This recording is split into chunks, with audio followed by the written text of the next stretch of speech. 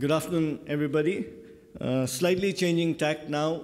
Uh, we will talk a bit on the enforcement of safety. And my presentation, more or less, will touch on the relationship between flag states and port states, some of the best practices and the lessons learned, and also who will be responsible for the vessel's compliance. So I, I will start off with maybe a, a question. Is port-state control considered your friend or foe? I do not expect anybody to answer, but I, am sure in private there are a lot of different opinions depending on your experiences. But we as a flag state, we do find port-state control to be very beneficial. And we do take into account a lot of the information available and the findings from port-state control. And I think one of the key points, or three of the key points, really are transparency, communication, and cooperation. And if we consider these three factors, I think we would find that port-state control can be our friends.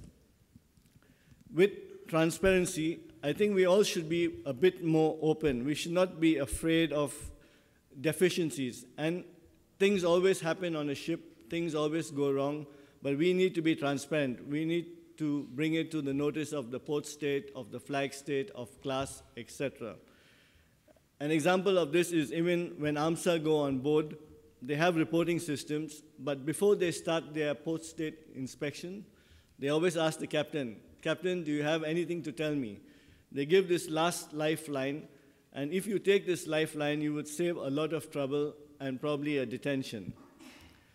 Similarly, with communication, sometimes when the port state goes on board, the master or the crew may be a bit nervous, but they need to break the ice. Sometimes they, they should go to the port state control officer and say, look, can we have a small opening meeting? So they more or less discuss the inspection and even at the end, they can ask for a small closing meeting to discuss the deficiencies rather than say, sign the paper and then ask, oh no, it's not like that, it wasn't like this. So a little bit of communication does help. And finally, cooperation. I think we find that, you know, the port-state control are quite human in nature and you need to get to know them better. So you need to sometime arrange meetings with them or even attend seminars like this where there is some interaction and exchange. And a combination of all these three factors can help to understand port-state control better, to work closely with them and provide and avoid this definition of treating them as an enemy. One of the good points of port-state control we find is that they do recognize the responsibility and the effort that ships take, ships that do not have too many deficiencies or do not get detained. At the same time, they do also notice what is poor management and they give a chance or they use it to improve the management of those ships.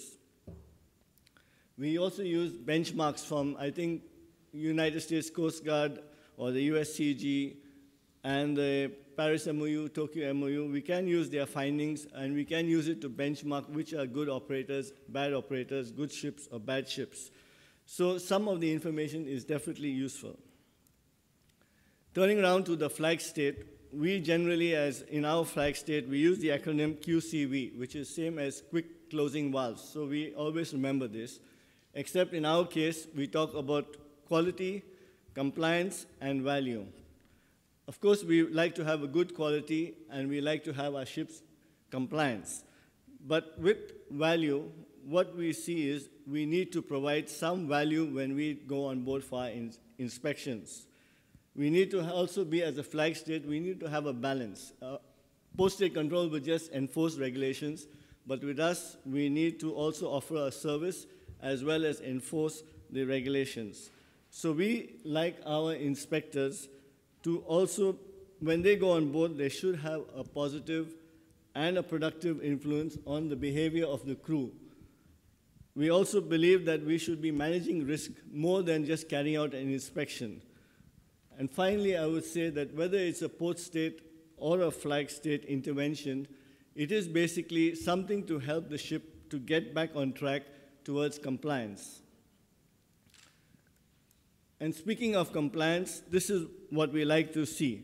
For example, a ship on the upper left, it's got a bold statement. Okay, no smoking, most tankers have that, but it has a bold statement that says, protect the environment.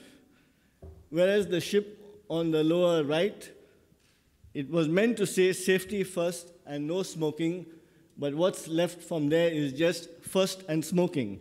So these are sort of things that doesn't give a bold statement that they're being compliant and would create a bad first impression for any port-state control officer.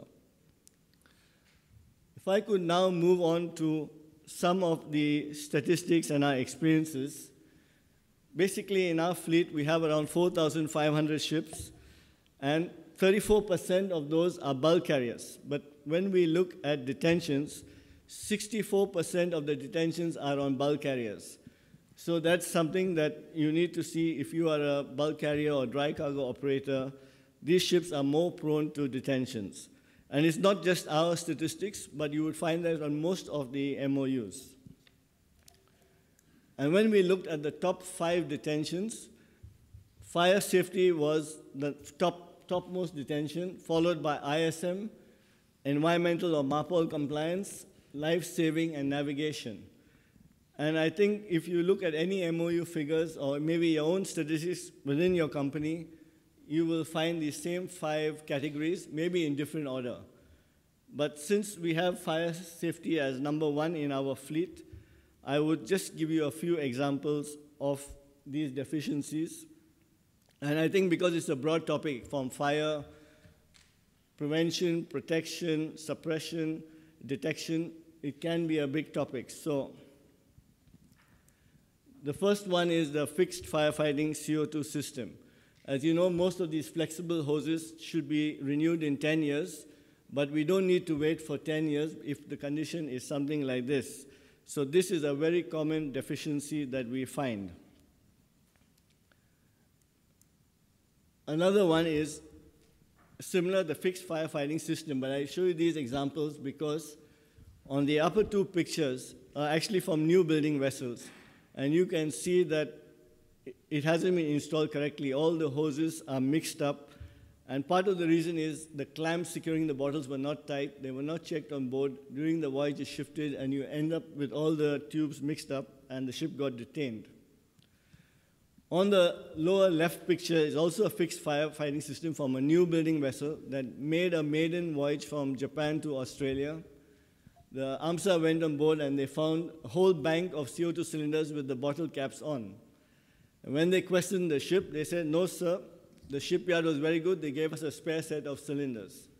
But I think no shipyard is so kind, and actually they weren't connected, they were left out, and the ship got detained.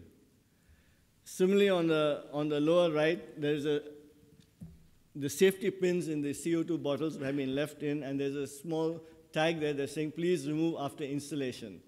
So not only was the pin left in, but the tag was left in as well, which was a straight pointer to the port-state control to detain the ship. Quick closing valves, as you all know, the United States Coast Guard has zero tolerance for this. And you can see a gag put in on the right-hand picture, it was a half pipe put in to block it. Many chief engineers, of course, faced with the decision to have a blackout or to have a fire, they choose this option, which is quite wrong actually, and they, they choose to block the quick closing valve. So this is something that just one quick closing valve block can be one detention. Fire detectors, smoke detectors covered up with plastic. Also, one smoke detector amongst maybe 50 can lead to a detention. You don't have to have all covered up, just one can lead to a detention. The picture on the right is something that is very common in China, and this is something that the China MSA target on. And that's basically sometimes you know ships retrofit equipment, whether BNWAS, VDR, and the crew are told to lay the cables, and then they cut bulkheads, don't put the insulation in, and the Chinese MSA, they love this. They go into cable ducts, broom cupboards, and they find it and detain ships. So this is something to warn your crew. Inoperative stack dampers or maybe the funnel vent or could be the engine room fan vents. I just put this example to say that this is a very bad design. And if you are in a position to influence the design on your ships in new buildings, choose something simple because when you have something as complicated as this, they will definitely not work one or two years after operation.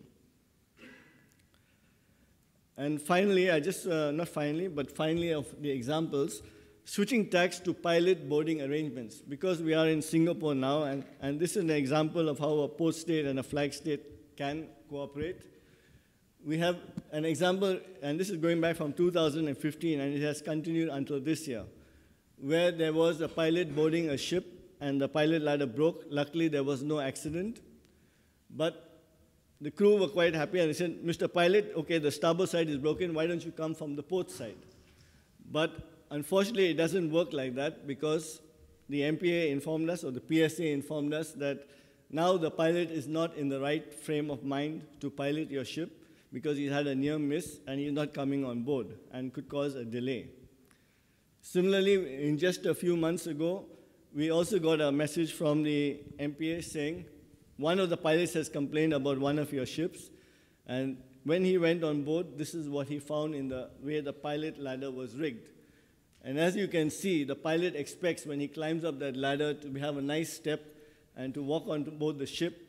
But to his horror, he found that the pilot ladder was rigged to the ballast vent pipe rather than any securing point. So and it's not just pilot boarding arrangements. We find this with lifeboat, life raft, embarkation ladders as well. So it's just a quick pointer. And finally, we came to talk about the safety of the ship on who's responsible. So there are many levels of safety.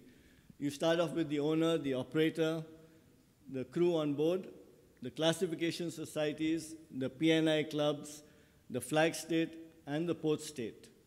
And basically, what we would like to say is that we, as a flag state, we are there on every step of the way. So we do talk to owners, operators, the crew during our inspections. We do regularly, on a daily basis, talk to classification societies.